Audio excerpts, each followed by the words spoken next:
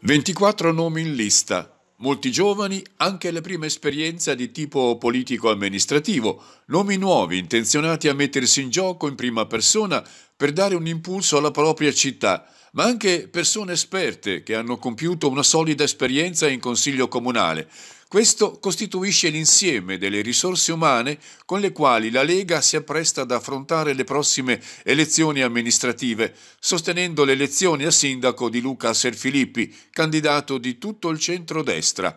I cittadini, ha dichiarato quest'ultimo, ci stanno chiedendo una forte discontinuità, un progetto vincente sempre rappresentato dal valore umano, pertanto vogliamo mettere tutta l'energia possibile per rendere Fano protagonista del suo futuro. La Lega scende in campo con una lista forte e di qualità personale la carica l'onorevole Mirko Carloni, anche lui candidato della Lega per le elezioni europee. Candidata sindaco Luca Serfilippi è davvero per noi un motivo di orgoglio e siamo davvero molto felici di poterlo sostenere, lo faremo con tutte le forze perché serve davvero alla città uno slancio, una classe dirigente nuova, più giovane, con le idee chiare e con l'esperienza giusta. Sono sicuro che questa città è stata ferma per molti anni, ha perso dei treni, secondo me anche in modo abbastanza evidente, quindi eh, io mi auguro per la città di Fano, per la mia città, che ci sia un'amministrazione più eh, capace, più eh,